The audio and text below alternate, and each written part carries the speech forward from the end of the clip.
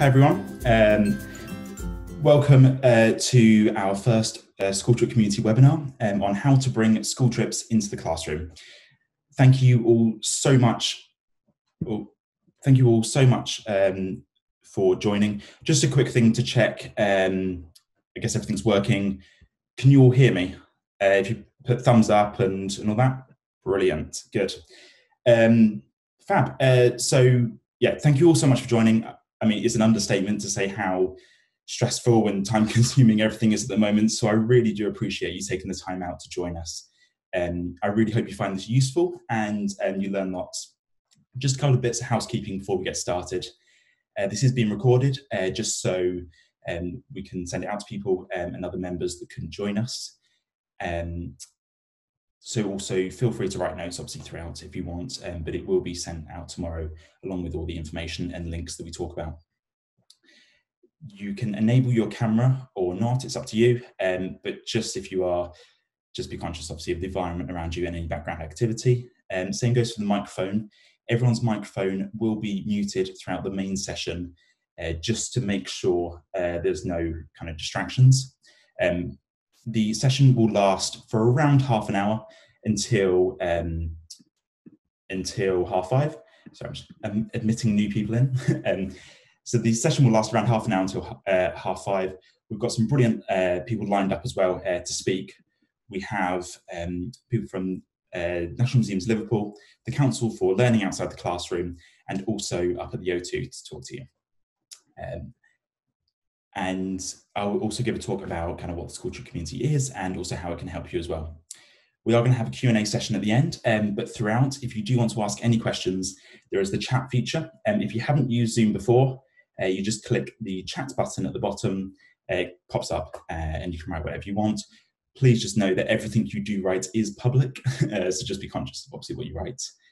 Um, that's brilliant. I'm just going to admit a couple more people in, and then we'll get properly started. Great. So um, yeah, so for those um, that don't know me or haven't spoken to me before, um, my name's Tom and I'm the founder of the School Trip community. I know we also have loads of new members uh, that have joined us for this webinar, which is brilliant. Um, so for those that haven't had a look at the site yet, uh, the School Trip community is a education hub to help you bring school trips into the classroom. We work with a wide range of theatres, museums, galleries, attractions all across the country um, sharing their unique educational offering.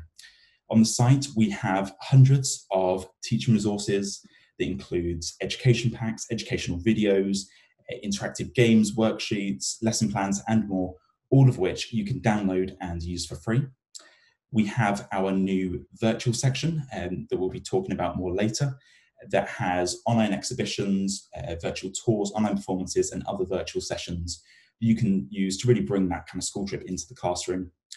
We share all the latest news, updates, um, and everything you need to know from arts and cultural venues. And then finally, and I guess most importantly, we are absolutely here to help. And it's why we created this webinar. But also, if you have any questions anytime, please feel free to get in touch. And um, you can email me um, directly there's my mobile number as well on my emails, and there's a chat feature on the site if you just want to get in touch with any questions at any time. We can offer um, ideas on kind of activities, help you find resources that are suitable for you, say on a certain topic or subject, and also with school trip ideas and virtual school trip ideas as well. So please do get in touch, and um, more than happy to help. Um, brilliant. Um, the as a quick um, actually poll, just to kind of now that everyone's kind of here, um, it'd be great to see. Um, so for those that haven't um, used it before, on the bottom banner of the application, it says reactions. Don't press it yet, but when you click on reactions, there's then a thumbs up button. Just as a quick poll uh, to see where everyone's at and, uh, and all that, click thumbs up if you usually, I guess in normal times, um, book school trips. So whether that's to museums, galleries, attractions, or abroad. So just get an idea of everyone and click the thumbs up button if you usually book school trips. That's great. I mean, pretty much everyone, that's brilliant. Um, they'll disappear automatically in 10 seconds. Um, and then the next one, just to kind of see where everyone's at, um, do a thumbs up again if you are currently booking or planning to book a physical school trip, so kind of again traditional kind of school trip going to museum, gallery, attraction, offsite. So if you are planning anything like that offsite at the moment, put a thumbs up. A lot less, which yeah, is what I thought. Um, I mean, it's brilliant that some people still have um, put a thumbs up, and it's it's brilliant to see that kind of some schools still can do those kind of traditional off-site school trips but for so many um, as you know you know obviously everything's changed. Um, and school trips are increasingly hard to do. Uh, to kind of traditional museums and galleries. That's why we created this webinar. Um, it's also i guess everything we do um, is there to make arts and culture as accessible to you as possible and school trips as accessible to you as possible. So we've created this to help you really bring school trips into the classroom and um, to help you where we can. Uh, a big part of that is we're going to have a new highlight each month. And this is a venue that's kind of shown to us as a real innovative new product. And what's been brilliant is through this time, and you may have used uh, some, that there's so many new activities, resources, educational videos, sessions that arts and cultural venues have created to help you still connect with them. This month we have Turner Contemporary, um, which for those that don't know is a art gallery in Margate and uh, in usual times a brilliant art gallery um, great to the uh, kind of local schools and also kind of general um, southeast. And to help support the recovery curriculum and to help support your students at this time they created seven new uh, creative mindfulness resources. Now for those that don't know uh, what creative mindfulness is uh, it is it's kind of a form of meditation um, in a different way. So it's all to do with an activity. So the analogy usually goes of, and everyone's kind of had it where they've perhaps been cooking or colouring something in or playing Lego, whatever it may be, and the time has literally flown. Um, that in itself is a form of creative mindfulness. And what they've done is gathered these kind of activities together in these educational videos to that you can use in the classroom, perhaps as a lesson starter or at the start, at the end of the day, to really kind of focus students um, and to help them um, with the, the, subjects at hand. It can be used in any subject, um, but it does lend itself to kind of art and design type uh, subjects where you can use it as a creative prompt or to kind of prompt imagination in students as well. All of them are absolutely free uh, to access. There's seven uh, educational videos, and there's also an accompanying education pack that comes along with that as well. They're all on the site, and I'll also put the link out tomorrow uh, just so you have that. Um, and it's a real example of kind of how something has you know, really adapted to the situation and created something new that you can still use to connect with them in you know, what is a very different way to what they usually would in their usual offering. At this point, um, I'd like to introduce another venue that has uh, really kind of done an innovative new um, kind of virtual sessions that I'd like to share with you. So it's so I'm going to introduce uh, John from the National Museums of Liverpool, and he's going to talk about um, his new virtual sessions that they've created. Okay, that's great. Thanks for, for the introduction, Tom, and it's really good to, to be here uh, with you all. Um, in Liverpool, basically what we decided to do is knowing the challenges that schools are facing at the moment, uh, we decided to create um, what we're calling a virtual classroom. Um, we wanted to carry on giving um, schools access to our amazing collections and resources and to enable you to carry on meeting our expert learning staff we started this off in response to the pandemic, but actually we're really pleased with how how it's how it's developed, and we're seeing it as a permanent part of our offer now, really. Um, because we recognise that it can help us to extend our reach, and that we, we we're we're a big uh, museum service with seven venues, and certainly our International Slavery Museum has an international appeal. So we see it as really important for that. Um, during the lockdown, when we started planning this, um, we actually did a survey of local teachers to make sure that what we're offering is grounded and uh, meets meets the, the needs. Um, but we also talked to the School Improvement Service in Liverpool and the, the Liverpool Cultural um, Education Partnership. And the outcome of all this was that we developed um, six workshops where essentially we adapted um, existing uh, workshops that schools came into our venues to do in the traditional way. Um, they're for pupils from key stage one to key stage three, but actually they're, they're mostly key stage two. Um, and I think when we were planning them, the one thing that we were determined to hang on to was to keep them as interactive as we possibly can and have activities and look at them through different learning styles and so on. Um, so the workshops that we actually developed were Ancient Egypt and Mar Marvelous Mummification, that's for Key Stage 2. Um, Impressionism, what's that, from our art galleries, which is for Key Stage 1 and 2. Ancient Greece, um, Gods and Heroes. Um, that's sort of exploring some of the uh, myths from ancient Greece, and it's involving role play. And um, then we've got from the International Slavery Museum, we've got under tra understanding transatlantic slavery, which is really um, taking people, uh, helping people to understand what was involved um, in the forced migration from Africa to America and it's looking at life on the plantations, but it's also looking at the legacies of transatlantic slavery and how that impacts on so many lives today. Um, um, Titanic, um, there, was, there was, as many of you will know, there was a, a strong link with Liverpool. Um, so we've done a, a workshop about, it's called Traveling Through Time, and it takes children with through a series of activities exploring class in Edwardian society but really taking them on quite a dramatic narrative of what happened on that night in April um, 1912 um, when the Titanic sank. We've also got a workshop called The Amazing History of Liverpool, again, another Key Stage 2 one, which takes you on a journey from the Ice Age to Liverpool's growth to a world port and taking in all the, the sort of the history of um, well the football and, and the Beatles and all the rest of it, and that that amazing story of, of, of the famous city. Um, the workshops um, that we've developed cost ninety pounds per class, and when you book a, a workshop, you get a package of resources.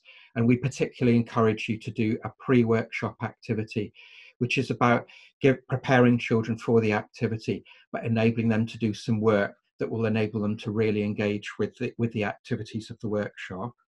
Um, and then there is a follow-up, a series of follow-up activities that you can do. So each of these we've created, designed so that they're as straightforward as possible. There's a lesson plan and we provide the resources that are needed. Um, we're very sort of aware that the thing that children are going to miss out on is that experience of visiting the museum and gallery.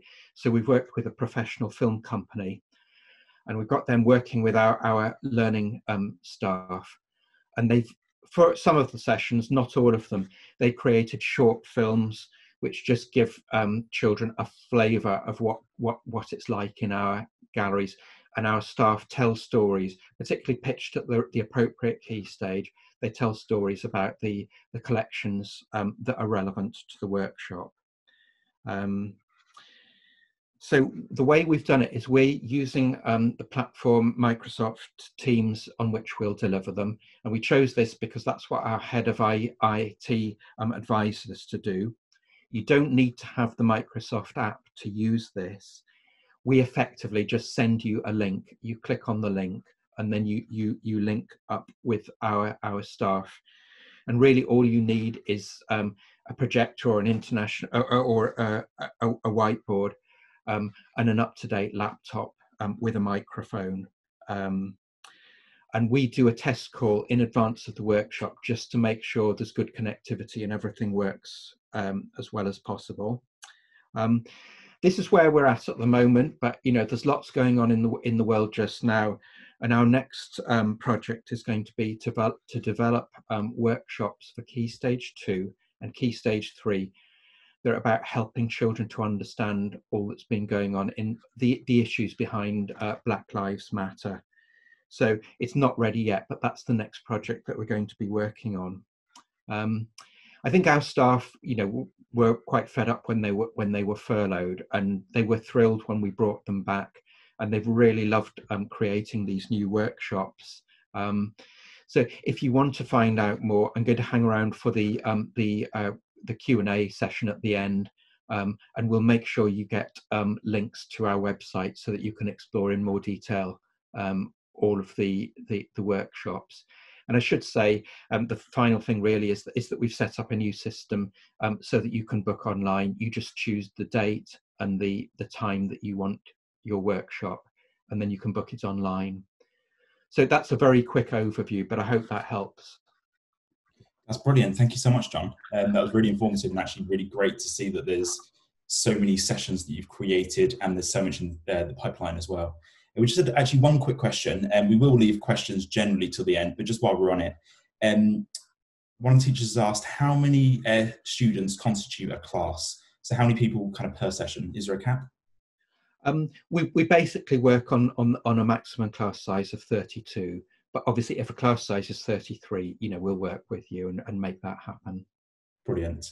And and yeah mandy's just asked as well whether we'll be sending all this information yeah so everything um, that we talk about today um, i'll send in a follow-up email um, to you all tomorrow with all the links information um, and also kind of direct contacts as well. Um, so, um, so yeah, brilliant. Okay, well, thank you so much, John. Um, that was brilliant. And um, yeah, if anyone has any questions, obviously John said he's going to wait um, around until the Q and A as well, and um, yeah, we can ask more then. So, um, I mean, the fact you're all here and the fact that you all kind of gave the thumbs up to the uh, yeah, have you booked a school trip before? I don't need to say the power of school trips to you. Kind of, you know, if everyone looks at, back at their own um, time in school, everyone remembers a school trip. It's quite often the highlight of the year. For me, in kind of my anecdote one is when I was in year 11, um, I saw a play called uh, Disappearing Number at the Barbican Theatre in London uh, by a theatre company called Complicité. That uh, play inspired me to both do drama A level, uh, sorry, A level drama and A level maths. So if a school trip can convince you to do A level maths and drama in one go, then they really are powerful and to kind of talk about more about that and kind of the current guidelines and everything around that. Uh, we've got Justine from the uh, Learning, sorry, the Council for Learning Outside the Classroom. Now, the Council for Learning Outside the Classroom is the national voice um, for learning outside the classroom. We champion it, we encourage um, and enable teachers to do more learning outside the classroom. So we have free resources, case studies, examples, training, and what have you, because we know uh, the biggest barrier for teachers taking learning beyond the classroom walls is confidence. So we're here to help people take those next steps. And um, we do know that, particularly around this time, um, that confidence to take a bit of a, a, a battering. You know, people are unsure what they're allowed to do now with all the you know, guidelines that are in place to, to manage COVID and to ensure teachers and pupils are safe. So actually, um, I mean, it's been brilliant hearing about how the museums have been taking their learning into schools. That is just fantastic, making it much more accessible. It really does enrich and contextualise learning. But uh, um, school visits, educational off-site visits are permitted. So you can do this. You can go off-site. You can go out into your local community. You can go slightly further afield um, day visits are permitted. The um, advice from the Department of Education is at present schools are able to undertake COVID secure day visits within the UK. So overnight visits aren't permitted at the moment, but you can go off site. You can go to museums, galleries, farms, parks, theatres if they're um, if they're running particular learning learning programs. So really, I really, really wanted to to emphasise that. I'm sorry, my email popping up there. And the benefits for learning outside the classroom and edu educational visits have never been more important than they are now. Um, we've heard from teachers is that the way classrooms have to be set up to comply with COVID guidelines, you know, all um, desks in a row with teach, um, people facing forward, it's actually reduced the opportunity for collaboration and teamwork. So once you take children away from that environment, they're able to mix better. So it actually enhances the opportunity for those collaborative skills it rebuilds relationships, it gets people talking again to each other, it re-engages students with the subject matter that they're learning, and it helps to uh, help students to feel that life is normal again. You know, you're used to doing particular trips or experiences at particular times. You know, those messages extend throughout the school. So your one brother will tell that one sister, "Oh, we do that when you're when you're studying Romans, or when you're studying um, ancient Greece, you do this, you go and visit this museum, you go and do this experience. And when they see that that's not happening, it just en- enforces that sense of uncertainty that things are different. So being able to take your learning beyond the classroom wall reinforces that you know, things are normal, it's okay. Um, well, we do know that things aren't normal, but it does um, lead, lead to a bit of stability within the class. But we do understand that um, it is difficult knowing what you can do and what is available, what um, how to take your learning beyond the classroom wall. And there's an awful lot of advice out there. National guidance, which is produced by the Outdoor Education Advisors Panel, they take um, what the Department for Education says. So DfE issues their edit. They um, national guidance, the OEAP, take that guidance and they distill it down as to what it means for you as a teacher when you're planning either to take learning outside the classroom or undertake any off-site visits. So this um, this is just an example. That's their home homepage. Um, but do go on there. That is updated constantly. It's a live live working document. So anytime there are any changes, it's immediately updated. When all the new um, guidance coming out and uh, just as COVID was hitting, it was being updated, but you know, two, three, four, five times a day to make sure that whenever someone went in, they had a question, did they have the most up to date and the current advice? The one that tells you about managing off-site business. It tells you about what to consider when you're planning maybe to use a coach, for example, if you need to take use um, transport to go somewhere. It tells you what to think about. We also, um, Council for Learning Outside the Classroom and the OEAP, we work very, very closely together. Together we produce a Get Outside guide and toolkit. So that will take you through the step-by-step things you need to consider during this time when you're taking, taking learning um, outside the classroom, how to keep you and your pupils safe and um, how to deliver your session effectively. It's a really good document, it's completely free. It's available on our website and on the OEAP website, so you can get it from either. And it's a step-by-step um, uh, process to take you through, make you make sure that you're confident. The most important that you feel confident when you're doing this and there's a toolkit in there which will help you assess where you are now, where you'd like to be, and how to get there. Another thing to help give you confidence when you're going outside the classroom is to look for the LOTC quality badge. This is a national accreditation which recognises effective risk management and the quality of learning offered by that institution or organisation. It's the only accreditation that's endorsed by the Department for Education, who recommend um, in their guidance that if you're planning off-site provision or using an external provider, look for a provider or a venue that has the LOTC quality badge because you can be assured that they have met certain standards with regard to risk management and quality of learning. And also, since the um, whole COVID thing now, people um, who have the quality badge, organisations or um, individuals, they all, have also checked that they have undergone a self-assessment that they are COVID secure. So if you um, have a look for any venues, you can look on the LOTC Quality Badge website and venues on there, um, organisations, locations um, that are on that website have the quality badge are also COVID secure as well. So there are two way two ways for you to get information and um, support to help you take your learning outside the classroom and ensure that your students are having as rich as experience, educational experience as possible. CLOTC also has a lot of resources on our website, as well as the Get Outside toolkit. There's activity ideas, there are um, examples of how to plan, lead and evaluate your learning outside the classroom. We all know that that's very important, that you show evidence of what you're doing is meeting your learning outcomes. So there's a lot of free, free resources on our website too. And um, if you join, you become a member of CLOTC, you get a further resources such as curriculum link lesson plans, free webinars to help you understand what other schools are doing, um, share best practice, see what providers are doing. It's a bit like this, but you know, share examples and best practice of what people are doing. So that's just our website. And I will too hang around if you have any questions. Um, I know there's an awful lot to get through there, but I just wanted you to to be reassured that there's information up there. You can go off site if you wish. It's perfectly okay to do that.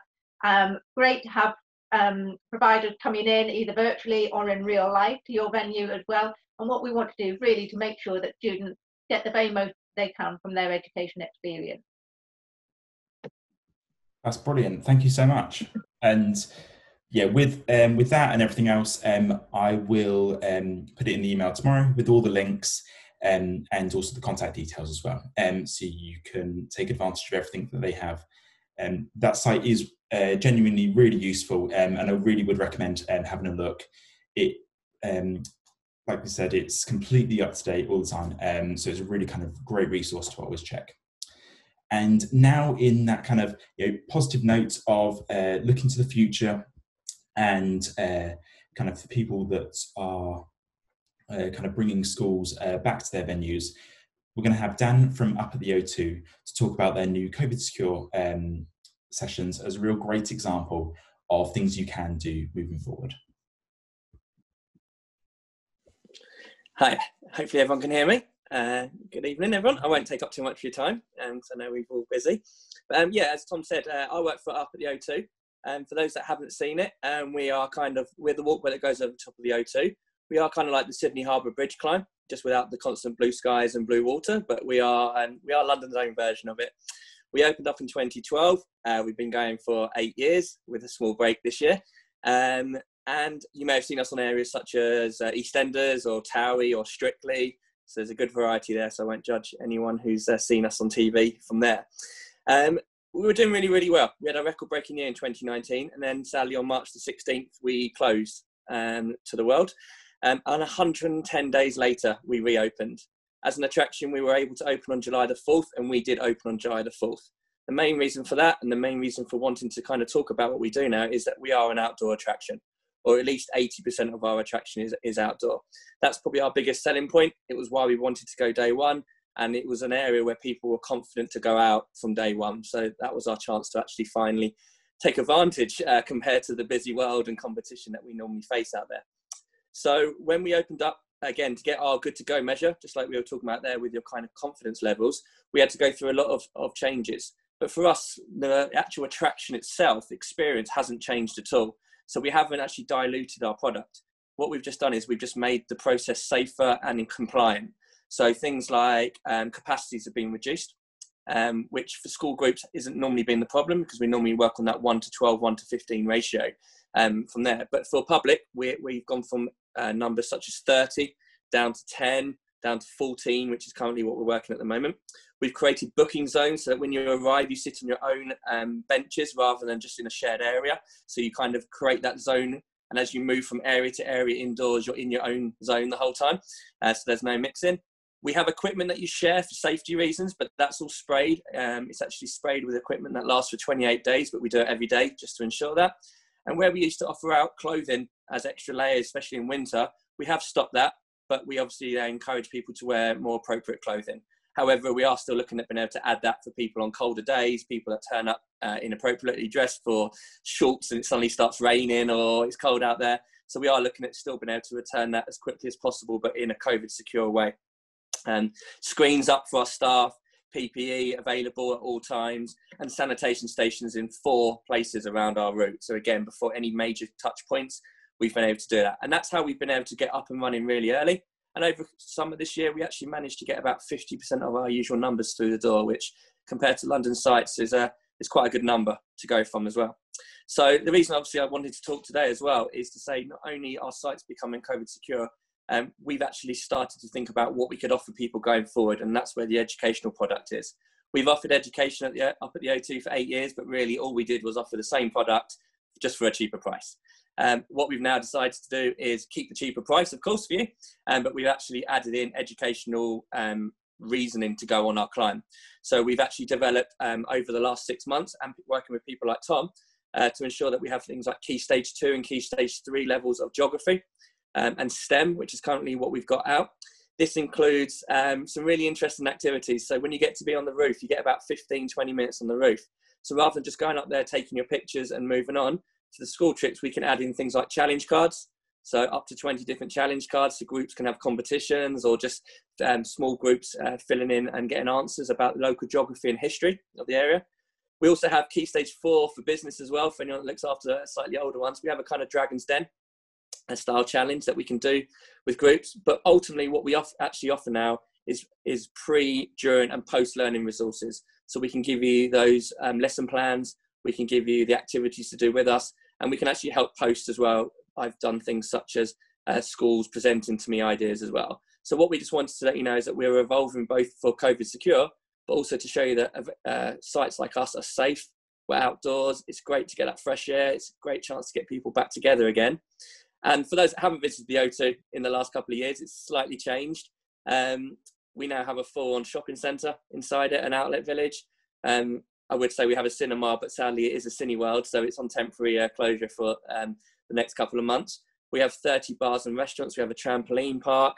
And of course, we're just a, a few minutes away from cable carts across the river um, and Greenwich downtown as well. So for those that do trips to this area, hopefully we can kind of add to people's experiences of coming in and doing a full day out um, and free coach parking at the O2 as well. Um, it's always been something that we've offered at the O2. So um, I'll, I'll, hang around for Q&A, Q&A as well, and we'll send over some more information. But yeah, there are a lot of sites out there, especially like ours, who are ready for your visit and just hope that the confidence can return to come and visit us.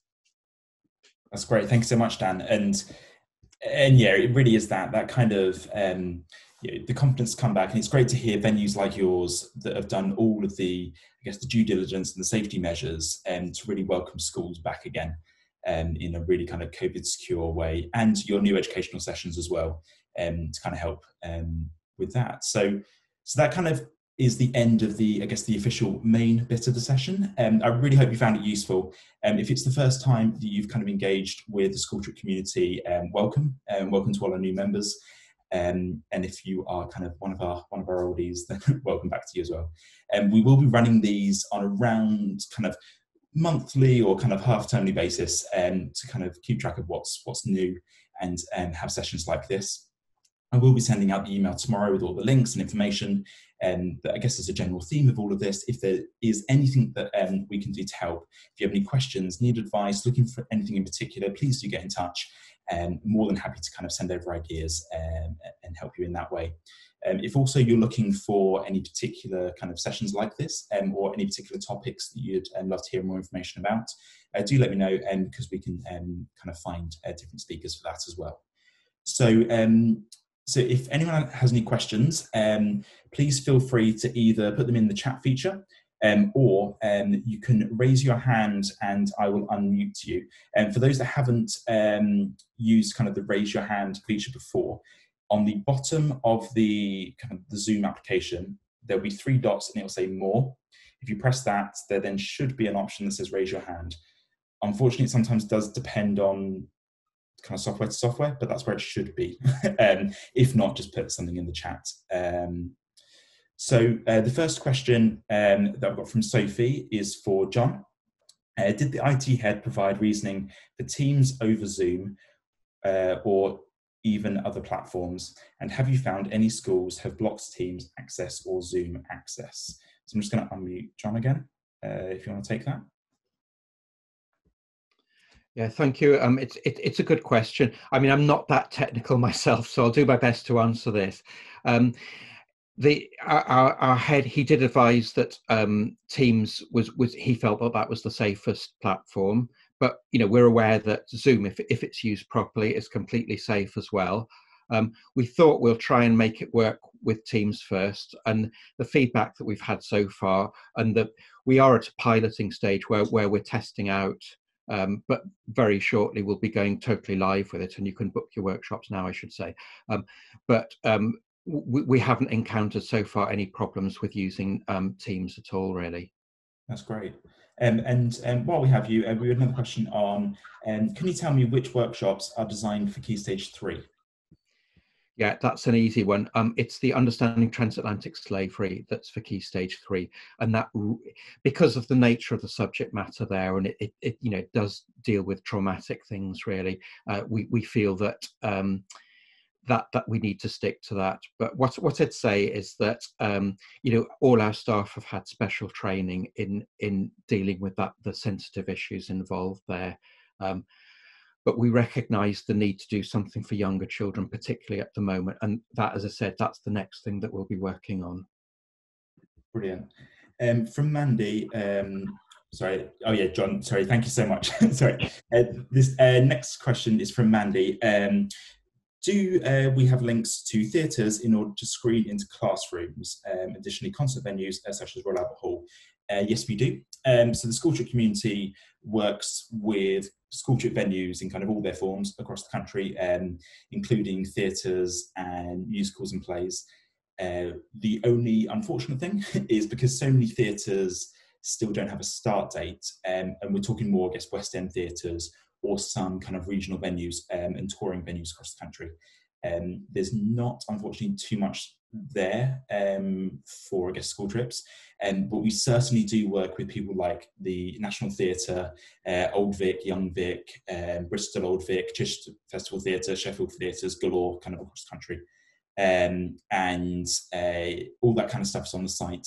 Um, the resources at the moment, um, to be honest, are quite West End heavy, uh, so London heavy, but they can be used obviously across um, across anywhere. Uh, we are in more conversations with theatres across the UK of kind of streaming into schools. Um, and actually, next week we are creating kind of the ultimate guide um, into kind of virtual theatre trips, um, which I'll share with you. Um, and uh, that will kind of feature all of the people that still have online performances, but then also um, platforms like the National Theatres Collection, where your school can sign up to access a past catalogue of their plays, musicals, and um, that come with accompanying resources as well. Um, this next question is for Dan um, from Up the O2. Uh, can you tell me what the costs are per student? Just going to unmute Dan.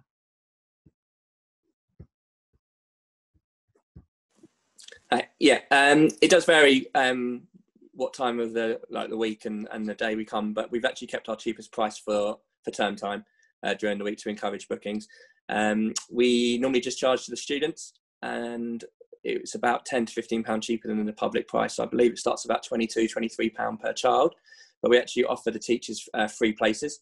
So again, whether that free places then the discount is is passed on to an average of all the school children, or whether the school would like to bring the teachers free of charge, that's absolutely fine. And as long as you don't go over the capacity number, any additional teachers are added um, free of charge as well. So really, we're looking at about 22, 23 pound per child, and that also includes a video, uh, a photo package at the end, so the digital pictures that we've taken of your group, um, or a printed photo at the end that you can take away and put in the class. That's great, thank you, Dan. Um, we've got a, well, I guess more of a comment from Sophie, uh, which is brilliant, um, about the British Museum's new suite of virtual visits.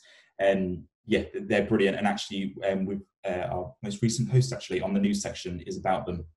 Um, so those that haven't seen them, uh, the British Museum, um, through a partnership with Samsung, um, have created a whole host of virtual uh, vi virtual visits and virtual sessions. They link to, um, I think it's Key Stage 2 and 3 off the top of my head, but might just be Key Stage 2, um, into a couple of different subjects. And uh, they are actually a brilliant way um, to obviously still connect with the British Museum. And they've also just expanded um, their places uh, to accept more students. So they can now book up to 900 uh, students or 33 sessions per week. So there's kind of lots of room. Um, and if you haven't already, I, I would recommend looking at it. Um, I think we've kind of come to the end of the questions, unless anyone has any other questions, or um, I can't see anyone with their hands raised.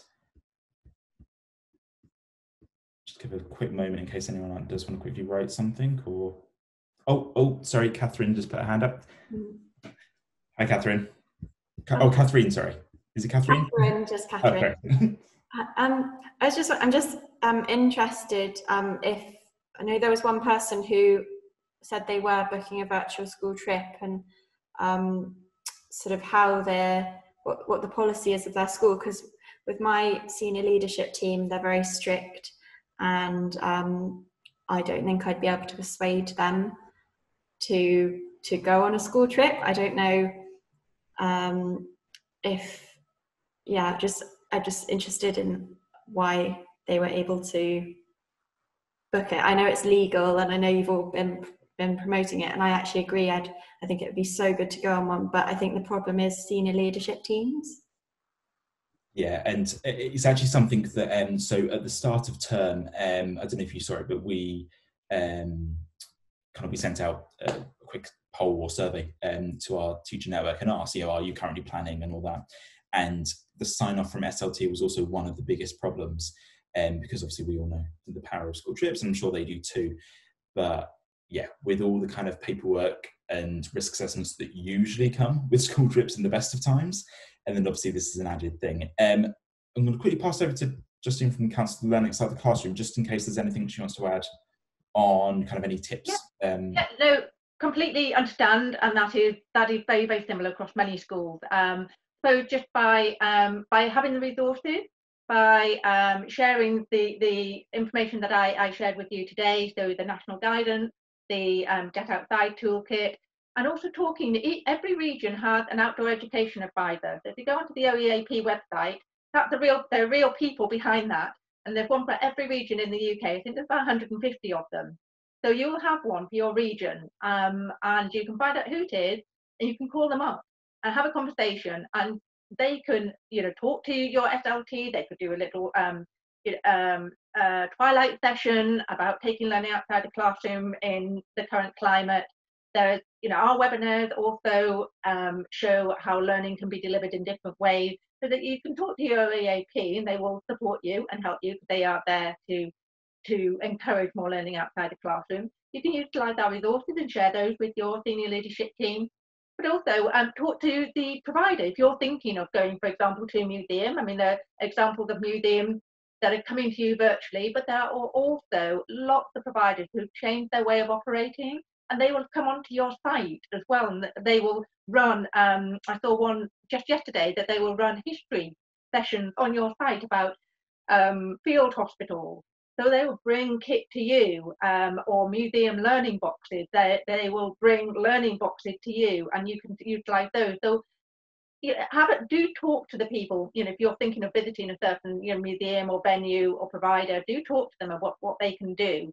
They'll work with you and also the either educational visits advisor or outdoor education advisor, they've got sometimes got slightly different names. They'll also be there to support you. So um, we do appreciate it. it's a very difficult time at the moment but there are still ways that we can bring the subject to life for your students. That's great, and it is good to know. And and actually, the there are so many kind of you know, loan boxes and kind of the people that um, when you get kind of a package into the um, classroom, they're a brilliant way to still connect, and so many people are doing that. Um, and actually, I forgot to add on um, when Mandy asked about the theatres. Um, we're actually having conversations with uh, people like Birmingham Theatres and also the Little Angel Theatre in uh, London. I don't know if you're uh, primary, but they're doing special um, Key Stage 2 performances where they're actually coming into the school. Um, so it's kind of the usual performance they would do at the Little Angel Theatre um, in Angel. Um, in London, uh, but they're bringing it kind of into the classroom and also streaming it as well. So, so I kind of lots of different options. But, um, but yeah, I, I think, I mean, I think the website like the Council for Learning Outside the Classroom, I would would look and show kind of SLT that, um, yeah, and kind of encourage to do that. Um, and uh, from Catherine, um, I'm a deputy head and have been encouraging teachers to take children outside the classroom. We live near the forest, um, but haven't done, done so yet. I'll put it more of a comment. That's great. That's great, Catherine. That and kind of yeah, that that you still want want to do that, and actually that you are. Um, and yeah, and I think actually on that positive note, let's let's leave it at the positive note of you know, people are yeah, going. to... that, that's brilliant to hear, and do do do do do it. Because it it, it it it is fine, and the more the more you do little local visits, and then you'll build up to getting on a coach, a minibus, and then you get on a coach, and it just you know you'll get more familiar with what you need to do. So little steps we're not expecting you know to organize you know big long big expedition right now. Just little steps incrementally. Develop your practice develop your experience rebuild your confidence and um yeah it will all it all works that's brilliant yeah fab okay well um i'll close the kind of questions there um thank you all so much again for joining um it was an absolute pleasure to kind of have you here um i know how obviously time constrained everything is. So really do appreciate you joining. I will be sending out everything tomorrow, um, just so you have all the links and information. But if you kind of in the meantime have any questions or um, just generally, please do get in touch. Uh, you can email me, call me, or there's the chat feature on the site as well. Thanks so much for joining. And um, yeah, I'd see you at another session very soon. See you later.